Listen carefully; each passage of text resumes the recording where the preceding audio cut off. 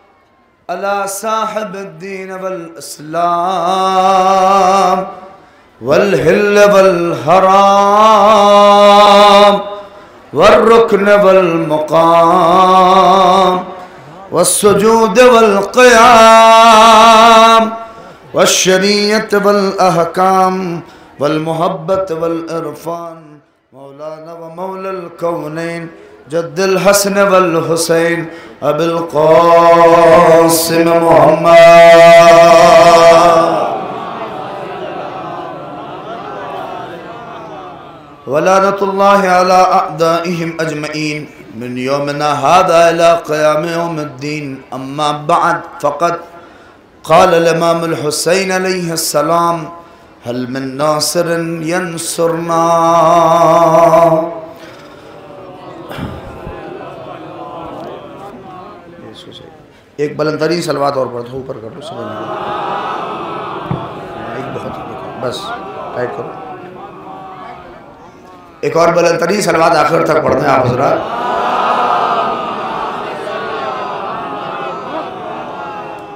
खालिक कायनात परवरदिगार आलम का जितना भी शुक्र अदा किया जाए, कम है।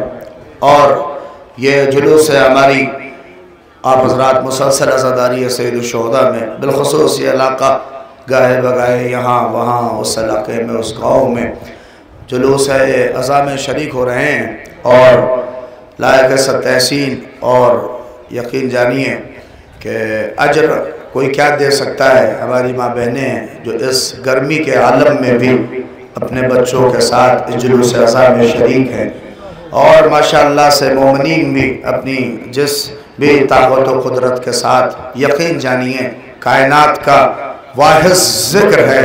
दुनिया के हर ज़िक्र पे कोहनगी की शिकन पड़ती है, मगर ये ज़िक्र रोज बरोज नया होता जाता है।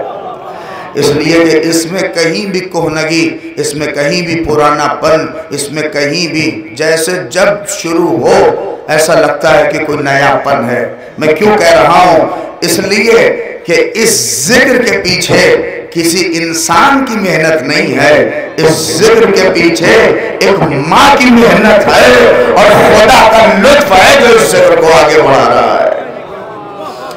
लिहाजा मैं बड़ी जल्दी जल्दी आपकी खिदमत में दो बातें कह के और मुझे भी जाना है। मैं इन आपकी खिदमत में बात कह रहा हूँ और आप तवज्जो करें। शायद यही एक बात है, फिर उसके बाद आप मसायब समात फरमाएँगे। लिहाजा, चूँकि गर्मी बहुत है और मुझे आपकी इन सारी चीज़ों का ख्याल है। लिहाजा, मैंने इसीलिए इमाम हसैन हुसैन का वो अजीम फ़करा जो करबला के मैदान में आका ने कहा कि हल में नासरन सुरना है कोई जो मेरी मदद करे मेरी आवाज़ पे, आवाज़ कहे, ये क्या है? ये जुलूस आज़ाद, ये हमारी ये मातम, ये आवाज़ें, ये आपका आना, यहाँ बैठना, यहाँ ज़िक्र सुनना, यहाँ आपका सफ़े मातम में खड़े होकर हुसैन मजलूम को पुरसा देना, ये सब क्या है? ये वही आवाज़ है जो हुसैन ने करबला के मैदान में बदल की थी। ये वही आवाज़ें हैं जो बुलंद हो रही हैं। इंसान हुसैन मजलूम ने करबला में आवाज़ सन इकसठ हिजरी में बुलंद की थी। आज 1445 में इस जुलूस अजा से लब्बैक या हुसैन की सदा बता रही है कि हम अगर कर करबला में होते तो आपकी नुसरत के लिए हाजिर होते। लिहाजा, ये आवाज़ है और ये हमारी शिरकत और यहाँ के ऊपर हमें आना। लिहाजा, दुआ करिए उस खालिक से, हमसे सब कुछ छूट जाए, मगर ये अजा अज़ाए सैदुलशहदा ये हुसैन मजलूम की अज़ा हमसे न छूटे। आप यकीन करें, इसके लिए कितनी जफाकशी इसके लिए कितनी मेहनत है क्या है?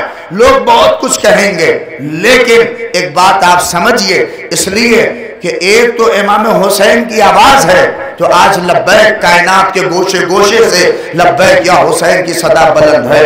और दूसरा रसूल का वो फकरा है जो पैगंबर ने कहा, इन्ना कत्ल हुसैन हरारा फ़ी कुलूबिल मुमिनीन, ला तबरद कि हुसैन की शहादत की वजह से मोमिनों के दिलों में एक ऐसी हरारत उठेगी जो कभी भी ठंडी नहीं पड़ेगी, जिसमें कभी भी ठंडापन नहीं आएगा। नहीं, मैं आखिर तक एक बात कह रहा हूँ, मेरी आवाज़ में आवाज़ मिला दीजिएगा। अगर आपका और मेरा अकीदा मिल जाए तो यकीन से करिएगा, आज दुनिया जितनी कोशिश और दुनिया जितने पैसे और दुनिया जितनी चीज़ें लगा रही है कि आजादारी कम हो जाए, आजादारी मिट जाए, आजादारी का ये हो जाए इतना अगर कोई किसी मिशन के पीछे होता तो अब तक खत्म हो जाता। मगर रसूल का कौन है, एक ऐसी हरारत होगी, जो कभी ठंडी नहीं पड़ेगी। मेरा जुमला आप तक पहुँचना चाहिए। अगर ये ठंडक किसी आदमी के हाथ में होती तो शायद ठंडी पड़ती मगर इसका अख्तियार खुदा के हाथ में है जब तक वो है तब तक हो जाएगा लिहाजा कभी भी यह हरारत ठंडी नहीं पड़ेगी। ला तब्र दो अबदा क्यों? इसलिए कि जो आवाज़ हलमिन हुसैन ने बुलंद की थी, उस आवाज़ सिर्फ़ वो करबला में बुलंद नहीं थी, बल्कि चौदह सौ बरस नहीं, बल्कि जितनी दुनिया आती रहेंगी, हुसैन की आवाज़ पे लब्बैक कहती रहेंगी। मेरे नौजवानों, इस जुलूस अज़ा में सिर्फ़ इसलिए भी आओ कि उस आवाज़, जो नहीफ सी आवाज़ पे, एक बच्चे ने आवाज़ पे चल कह के अपने को झूले से गिरा दिया। हमारे यहाँ लोग सोचते हैं, ये क्या है? अभी आप नोहा समात फरमा रहे थे। अभी आप नोहा सुन रहे थे। इसलिए कि मुझे पता है, मुसलसल तकरीरें हैं। आप सुनेंगे के राम से। मगर एक बात कह दूँ आपको, बाज़ लोग बहुत कुछ कहते हैं, मगर करबला में इमाम हुसैन ने सब कुछ आजमा लिया और आखिर तक सब हुसैन ने टस कर लिया। बाद लोग कहते हैं, उधर मुसलमान थे, इधर भी मुसलमान थे। अरे, वो शिया थे जो हुसैन को कत्ल कर रहे थे। बाद लोग कहते इंसान थे। हुसैन ने सब टेस्ट किया। पता है कैसे? तरतीब शहादत जो रखी। हुसैन ने अली अकबर को भेजा। अली अकबर कौन है? शबीह रसूल हैं। अली अकबर कौन? जिनका चलना रसूल जैसा। जिनकी रफ्तार रसूल जैसी, जिनका किरदार रसूल जैसा।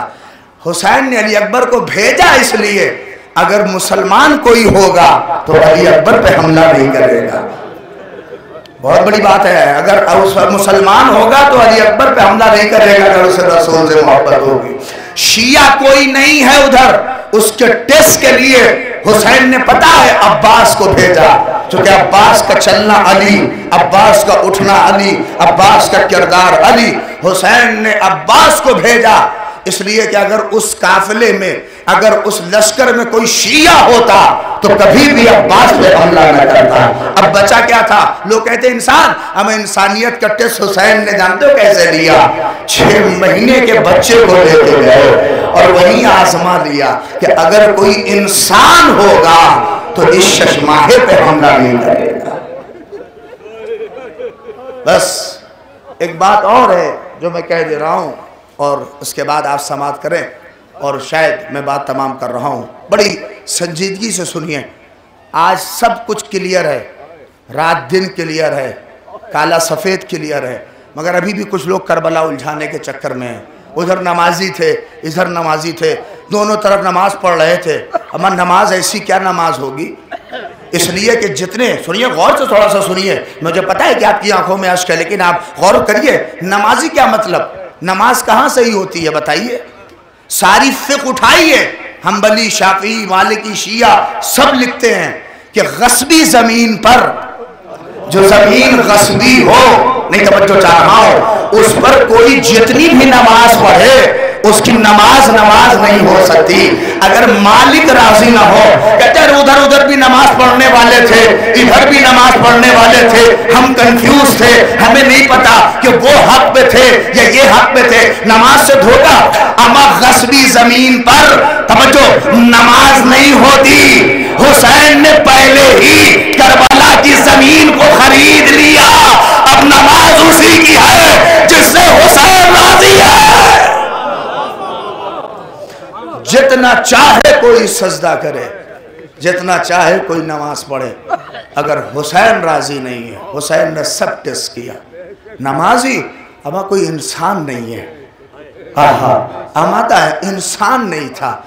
इसीलिए तो शशमाहे को छुपा के ले गए अपनी अबा के दामन में। और लेके गए, अभी सुन रहे थे आप नोहा मेरा कुछ पढ़ने का इरादा था, लेकिन आप चूँकि मुंसलिक है सुनने, अल्लाह अकबर। ये बड़ी गुर्बत थी हुसैन की। आप अगर सुने मख्तल के फ़ख्रे हैं कि हल में नासरिन के हुसैन ने करबला के मैदान में आपको पता है कब याद किया? कहा? जब चले, आए खैमे में, क्या देखा? सज्जाद गश में पड़े हैं। कि मेरे लाल जब मदीने जाना तो मेरे शीयत इन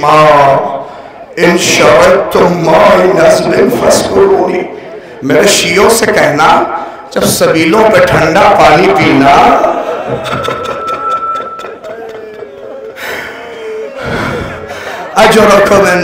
नहीं महसूस इतनी गर्मी में जैसे ही प्यास का आलम होता होगा, सोचते भी नहीं होंगे पानी तुम्हारे सामने। मगर हाय करबला, ए मेरे शियों, जब ठंडा पानी पीना तो मेरी मुसीबत को याद करना। और पता है, हुसैन ने कब याद किया? कहा, ए सज्जाद, जब जाना तो मेरे शियों से कहना कि वो वक्त याद करे जब मैं अपने लाल असवर के लिए पानी मांगा। आप क्या समझ रहे हैं? अम्मा, ये वो घराना है जिसने कभी मांगा नहीं है। इन्होंने हमेशा दिया है। कितना सख्त था हुसैन के लिए फौज अशकिया से पानी का सवाल करना। आवाज़ें बुलंद हो गई। मैं देख रहा हूँ, बस। और मैं बहुत से चेहरे देख रहा हूँ, जो बहुत ही शुरू से ही उनके आँखों से अश्क जारी है। एक फ़खरा कहो अल्लाह अकबर। इसीलिए दिल कहता है, सलाम करे। अस्सलाम हुसैन व अला अली इब्न हुसैन। किसी ने पाँचवें इमाम से पूछा, मौला, अस्सलाम इब्न हुसैन से मुराद कौन है? का हुसैन की गुर्बत। का कौन से गुर्बत? का जब नन्हे सगीर को हुसैन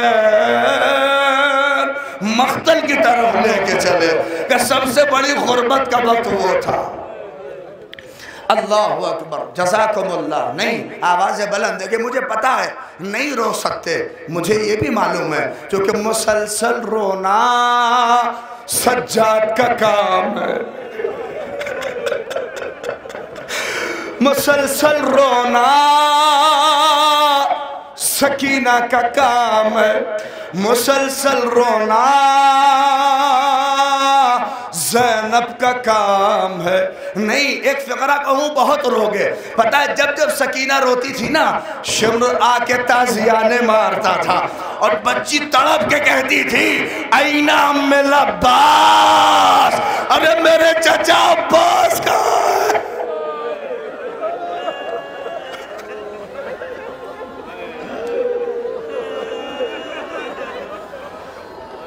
अजरक मिन दल्ला खुदा कोई गम न दे सवाए गम सैद शहदा के हुसैन उस वक्त हमें याद किया। शियो याद करो, मैं किस तरह से अपने सगीर के लिए पानी मांग रहा था। इंसानियत, आप सफ़र करें कभी ट्रेन में। अगर बच्चा रो रहा हो तो खैर आके पूछता है क्या पानी नहीं लाए हो? क्या दूध नहीं लाए हो इसका? अगर कहो तो हम इंतज़ाम कर दें। उसका मेरे मज़हब से कोई ताल्लुक नहीं। हाय रे हुसैन का बच्चा अलतश अलतश अलतश मैं कैसे कहूँ? इमाम ज़माना से पूछो। जारत नाहिया में सलाम कर रहे हैं। सलाम। उन होठों पर, जिन होठों पर पपड़ियाँ पड़ गई थी।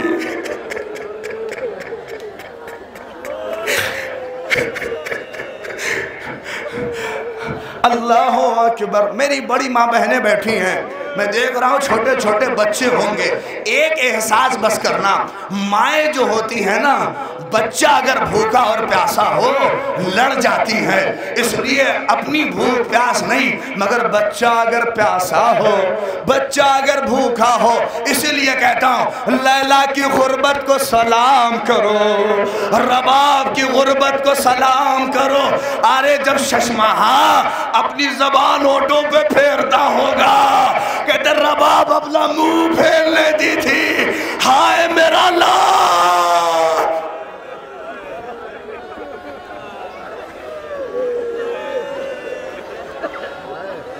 अजरकम अजरकम अलजहरा मुझमें ताकत नहीं है कि शहादत पढ़ सकूँ।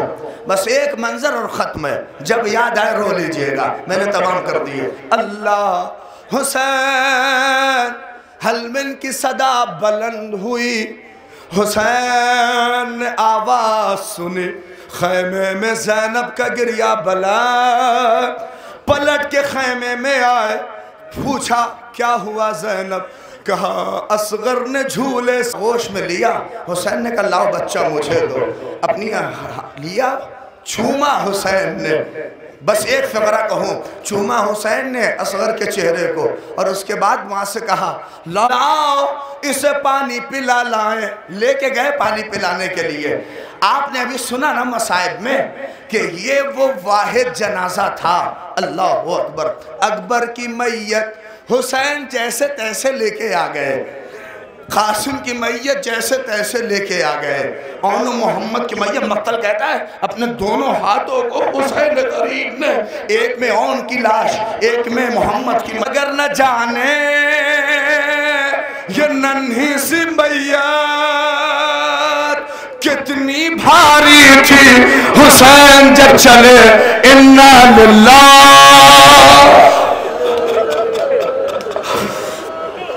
कलेजा फट जाएगा अगर मैंने तस्वुर पेश कर दिया। सात मरतबा आगे बढ़े।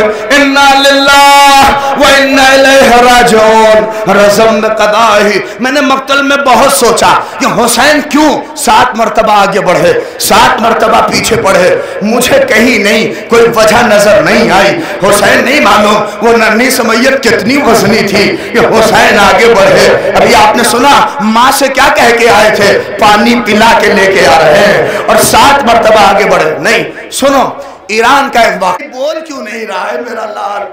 माँ कह रही नहीं, बोल। उसने कहा मैं भी गया। डॉक्टर के पास से लेके आता हूँ। बच्चा ठीक है। माँ तैयार हो गई। उसने कहा, मैं भी चलूँगी। पता है शोहर ने मना कर करे, वो कहता है, जैसे मेरे पैर से ज़मीन निकल गई हो, अल्लाह रे परदेश में। उसने कहा, मैंने दो चार लोगों को फ़ोन किया, लोग आ गए, बड़ी तसल्ली देने लगे, बड़ी तशपी देने लगे। न घबराओ अली असगर के सदक़े में फिर औलाद मिलेगी। बहुत रोने लगा, वो ये बस कहता था, हाय, इसकी माँ का सामना कैसे करूँगा? इसकी माँ को जवाब क्या दूँगा? माँ से कह, आप सुनिए मसायद के फ़िक्र अल्लाह अकबर, बहुत रोया। और कहते, दो तीन घंटे तक उस हॉस्पिटल में अपने लाल को लेके बैठा, अपने हाथों में रोता रहा। सफ़ेद, अल्लाह अकबर लिबास में लपेट के दोस्तों ने उसके हाथ में दिया, गाड़ी पे बैठाला, कह, जाओ, अपनी जौजा को संभालना। रोना नहीं, बस मसायब तमाम हो गए। वो कहता है, अब जब मैं घर पहुँचा तो गाड़ी ने जहाँ उतारा था, तवज्जो करिए, मेरे घर का फासला दस कदम का होगा।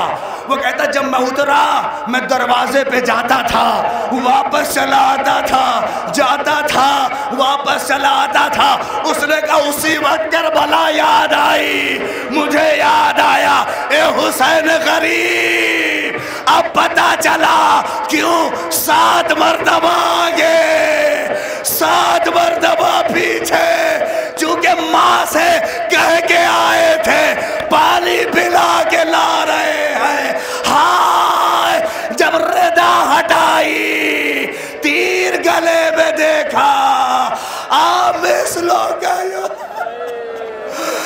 मेरे ला